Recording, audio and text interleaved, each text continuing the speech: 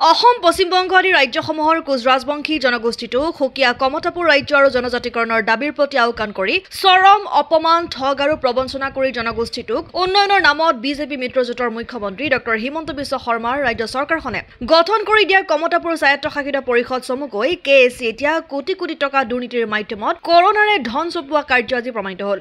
মূলতঃ কোচ ৰাজবংশী জাতীয় পৰিষদে বিগত এক ডেৰ বছৰ ধৰি বিভিন্ন তথ্যৰে প্ৰমাণ দাঙি ধৰাত অৱশেষত কে এ চিৰ মুখ্য সচিব ধ্ৰুৱজ্যোতি দাসে তেওঁৰ চহী জাল কৰি এক দুষ্ট চক্ৰই প্ৰায় এশ কোটি টকাৰ ভুৱা ৱৰ্ক অৰ্ডাৰ উলিয়াই চৰকাৰী ধন লুণ্ঠনৰাজ চলোৱাৰ অভিযোগত বিগত ষোল্ল ছেপ্টেম্বৰত অভয়পুৰী থানাত এক গোচৰ তৰিছিল। ইয়াৰ পিছতেই মূল অভিযুক্ত চিৰাং জিলাৰ বিজনীৰ চিন্ময় চৰকাৰ আৰু পংকজ দাসক আৰক্ষীয়ে আটক কৰে। সেইমতে আৰক্ষীয়ে অভয়পুৰী আদালতত দাখিল কৰাত অভিযুক্ত দুগৰাকীক এজনক চাৰিদিন আৰু আনজনক তিনিদিন আৰক্ষীৰ জিম্মাত দিয়ে।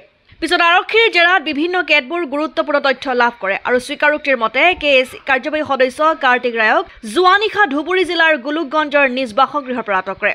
প্ৰাপ্ত তথ্য মতে ই এম কাৰ্তিক ৰায়ৰ মাজতো বহুতো টকাৰ লেনদেন হোৱাৰ তথ্য লাভ কৰিছে আৰক্ষীয়ে।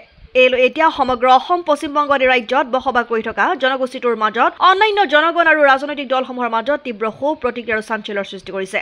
Dhrubajyoti Das principal secretary. Kamatapur autonomous কাউন্সিলে এখন এফ আই আৰ লজ কৰে।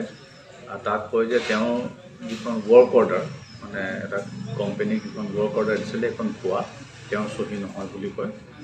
আৰু আমি অভয়াপুৰী থানাত গোচৰ এটা ৰুজু কৰোঁ আৰু তদন্ত কৰি প্ৰথমতে আমাৰ হাতত একো ক্লু নাছিলে তাৰপিছত আমি তদন্ত কৰি গম পালোঁ যে দুজন ব্যক্তি বিজনীৰ চিৰাং জিলাৰ বিজনীৰ দুজন ব্যক্তি পংকজ দাস আৰু চিন্ময় চৰকাৰে এই গোটেই ষড়যন্ত্ৰটো ৰচিছিলে।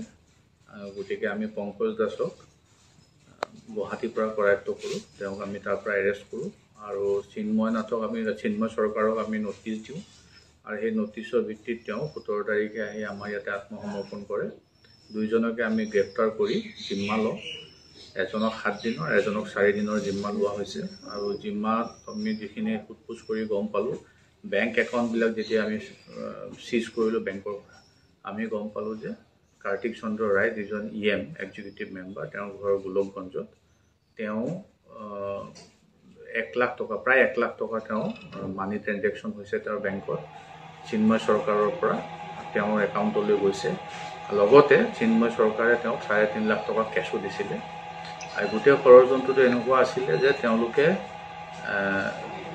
ৱৰ্ক অৰ্ডাৰ কাম দিম বুলি কৈ যিটো কাম কে এ চিৰ অধীনত নাই ছাপ্লাই দিম বুলি কৈ বেনিফিচিয়াৰীক স্কুল বেগ বা কম্বল তেনেকৈ তেওঁলোকে ছাপ্লাই দিয়াৰ নামত পাঁচটা কোম্পেনী ঠগ প্ৰবঞ্চনা কৰে। তাৰে এটা কোম্পেনী উত্তৰাখণ্ডৰ এটা কোম্পেনী দিল্লী এটা ছিকিমৰ আৰু দুটা বেংগলৰ।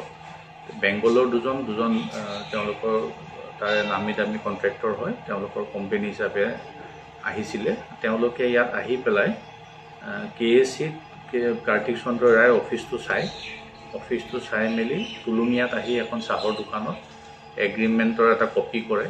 এগ্ৰিমেণ্টটো তেওঁলোকক দিয়ে চিন্ময় চৰকাৰ আৰু পংকজ দাসে। সেই এগ্ৰিমেণ্টটো পোৱাৰ পিছত এগ্ৰি গুৱাহাটীত গৈ তেওঁলোকে কেছ পইচা লৈ ৱৰ্ক অৰ্ডাৰখন দিয়ে। এতিয়া আমি গোটেইখিনি বস্তু চিজ কৰিছোঁ তদন্ত চলি আছে। আমি যোৱা ৰাতি কাৰ্তিক চন্দ্ৰৰে গ্ৰেপ্তাৰ কৰোঁ। আৰু আমি যিখিনি এতিয়া তথ্য পাইছোঁ যে গোটেই ঘটনাটো কাৰ্তিক চন্দ্ৰ ৰায় তাৰপিছত হেৰি পংকজ দাস আৰু আপোনাৰ চন্দন চিন্ময় চৰকাৰ এওঁলোকে কৰিছিলে। তেওঁলোকৰ লগত আৰু দুজন ব্যক্তি আছে সেই দুজন মই এতিয়া তদন্ত খাতিৰত নাম নকওঁ আমাৰ জিলাৰ নহয়। গতিকে সেই দুজন ব্যক্তিকো আমি কৰায়ত্ব কৰিবলৈ চেষ্টা কৰি আছোঁ। এইখিনিয়ে তদ- তদন্তৰ অগ্ৰগতি কিমান টকা আছিল গোটেই বিষয়টো আমি যিখিনি অনলাইন ট্ৰেনজেকশ্যন পাইছোঁ প্ৰায় পঁচিছ লাখ টকা। আৰু অফলাইন কিছুমানো ট্ৰেনজেকশ্যন আছে সেইখিনি আমি তথ্য এতিয়াও ফাদিল নকৰোঁ।